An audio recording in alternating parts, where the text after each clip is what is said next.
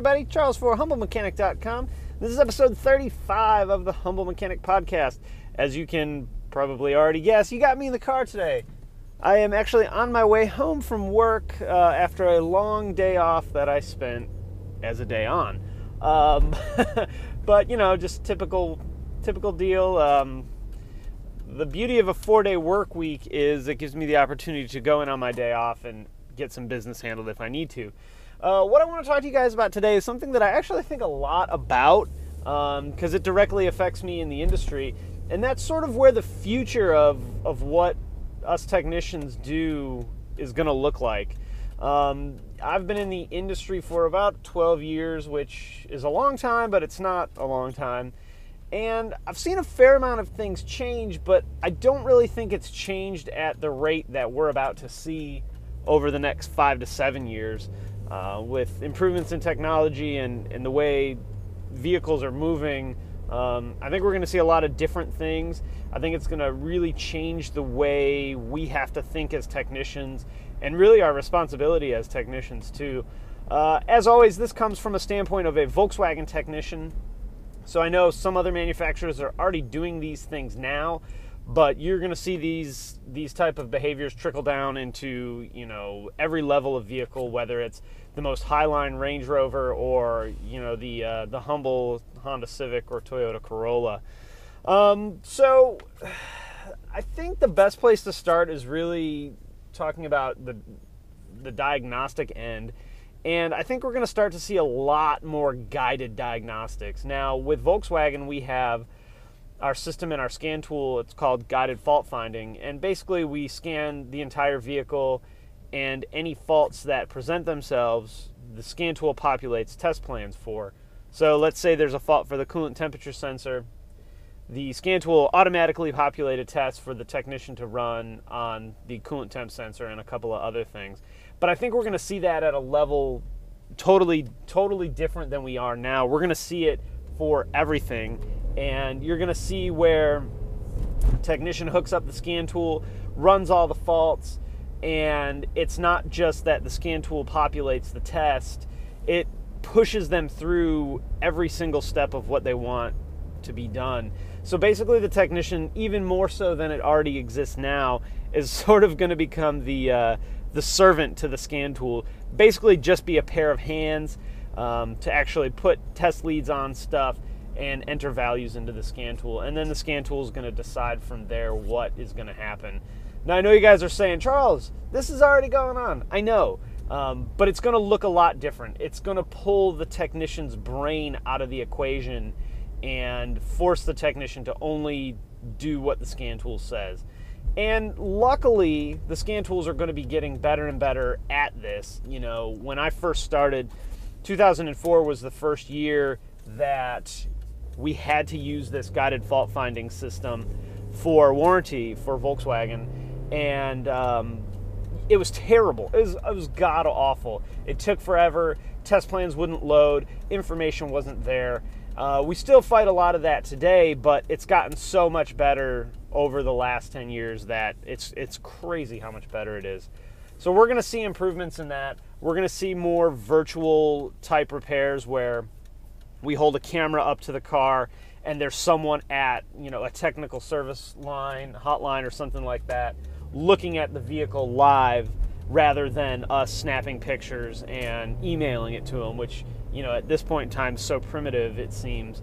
But um, like a lot of car manufacturers, they're ahead of their game on a, a lot of ends, but they're so far behind with processes and new technology that it's it's really kind of sad. I had a conversation with one of the boys in the shop the other day about you know us creating these um, repair tickets, these help tickets for when we have a problem, and how much of a hassle it is, and why we can't just do it all on mobile. I mean, we're submitting pictures. I'm taking the pictures obviously with my phone. I'm not about to get a digital camera for this. Uh, we're submitting video online, so you have to email it to the work computer and then upload it through um, through Internet Explorer because that's the only one that works you know, why aren't we dealing with mobile apps um, at this point in time? But you know, we'll we'll get there. Um, but there's going to be more of that. There's going to be more of the forced guidance through the scan tool and through the vehicle, not just you know the way it is now, where we plug it in, answer a couple of questions, and you know it says put put an ECM in it, which is generally what it says. It's going to be significantly more guided and force guided with more direct input, even direct live input from like a helpline, Volkswagen of America, or whatever manufacturer it might be. Uh, manufacturers are also getting better at catching problems earlier. Um, I can tell you that today, Volkswagen of America is probably a million times better at catching problems early than they were in 2005, 2006. That's why at the dealership level we have so many new car updates. They're sending out, you know, the regional managers to go and check cars and find problems, and uh, at a rate they never did in the past 10 years. So we're going to see more of that. We're going to see, you know, that first time you bring your car in for service is going to have a lot more updates than than a vehicle traditionally had, and I think that's a good thing. I don't think that's something to be scared of. Um, you can only do so much field testing from a manufacturer standpoint because no one's going to put their car through through what uh, you know some of your average drivers are going to put their car through. So we'll see those increase even more than they have. Um, so you're going to see more technical service bulletins, more required vehicle updates, more of that kind of thing. And that, I, like I said, I think that is a good thing. We're actually going to see probably more over-the-air updates as time goes on. Um, so let's say there's an update for your radio rather than you having to bring your vehicle to the dealership, us, you know, plug the scan tool in or load a disc in, these radios are going to start updating automatically or scanning for an update and updating every three months, sort of like your computer at home does. When Windows needs an update, it tells you. When your cell phone has an update, it tells you. Vehicles are already coming with their own IP addresses and uh, are basically mobile hotspots. And I think as that technology becomes more common in vehicles, we're going to just start, we're not even going to have to have the car at the dealership for these updates to occur. Uh, that's a good and bad thing. It's a great thing as long as it doesn't fail. But, you know, a, a glitch or a weirdness or a change in voltage can definitely cause some, some big time uh oh problems. You know, smoking ECMs or radios or whatever modules trying to update because you drive through a tunnel and it cuts out halfway or whatever.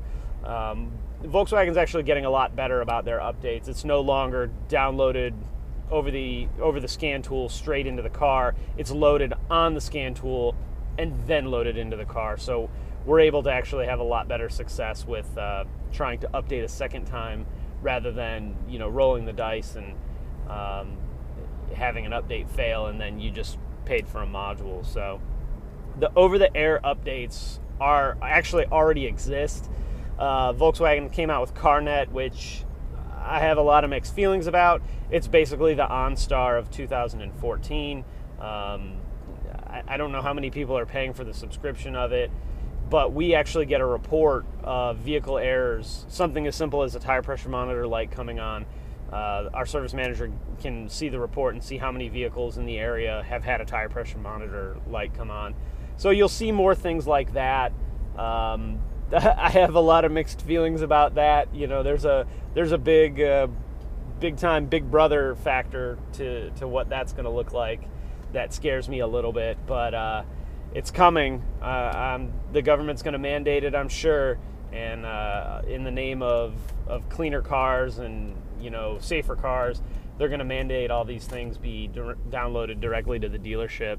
And we'll see how it works you know? It's just like any system that gets mandated the the early ones are going to have hiccups but they'll get better and better and better. I think tire pressure monitors are a really good example of that early on in 04 when they came out with the tor- in the Touareg it was a nightmare system the Phaeton 2 nightmare system now it's actually pretty good and uh, for the most part i would say 99% of the time the issues that we have with tire pressure monitors are either broken monitors because someone got new tires or their tire pressure is just low. And most of the time, it's just tire pressures being low.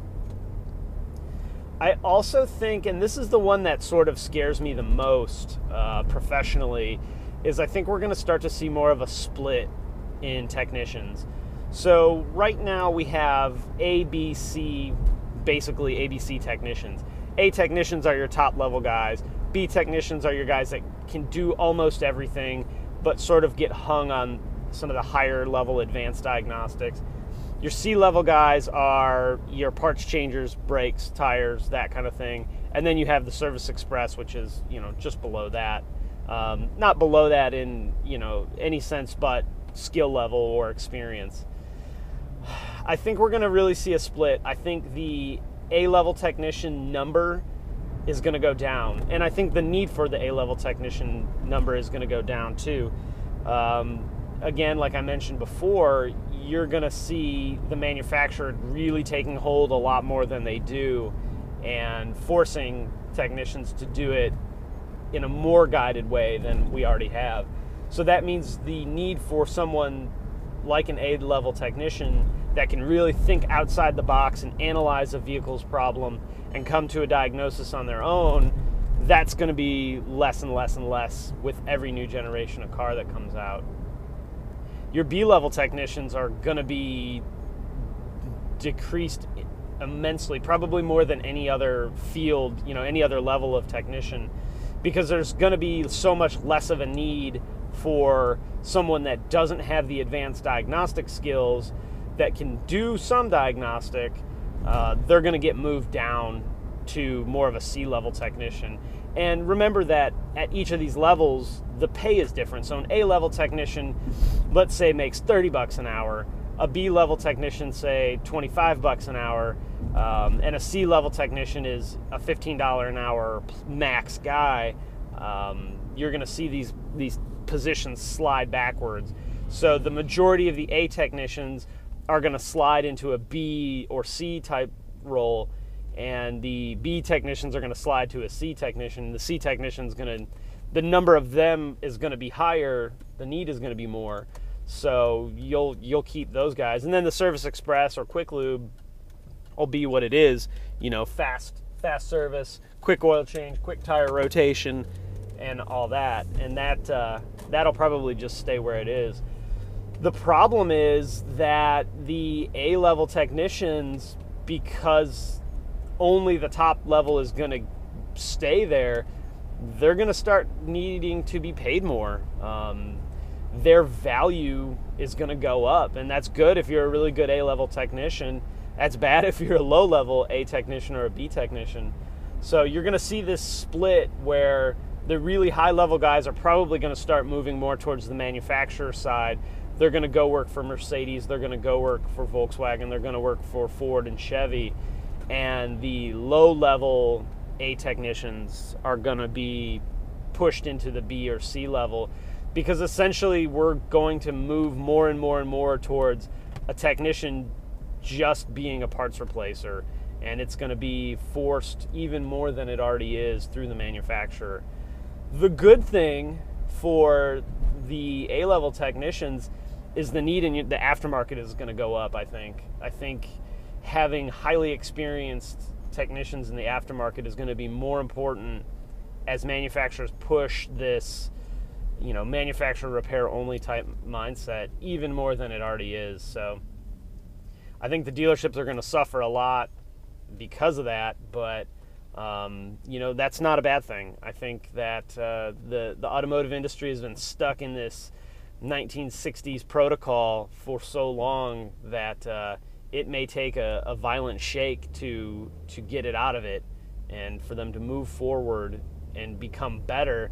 The problem is, is that's going to cause a lot of pain in the interim. So, um, you know, we'll see what we'll see what happens with it. But I don't know. It's an interesting it's an interesting mental exercise for me. Um, part of it's really exciting. Part of it's pretty scary. Part of it makes me concerned for a lot of my peers and, and what it's going to look like for them.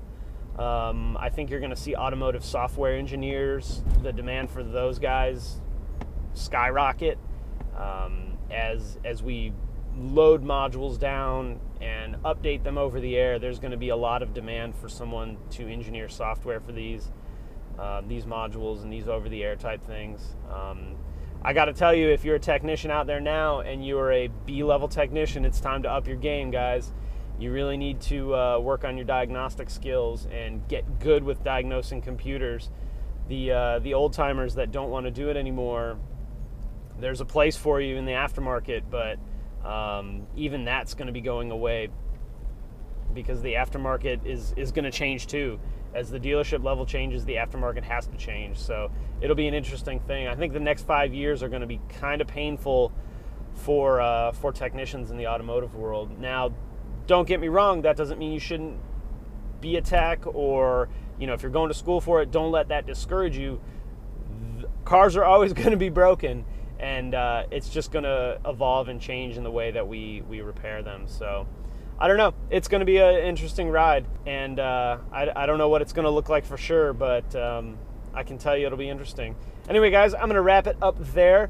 This is one that I again I love to hear your thoughts on. Uh, I think I think you guys got some really cool interpretations, especially you aftermarket guys. I love to know where you're at on this uh, this topic. But uh, as always, post your comments in the comments section below. You can also follow me on Facebook, Twitter, YouTube, and Instagram. If you like the video, throw it a thumbs up. Um, don't forget you can also share it, which I always appreciate that. Anyway, guys, thanks for watching, and I will see you next time.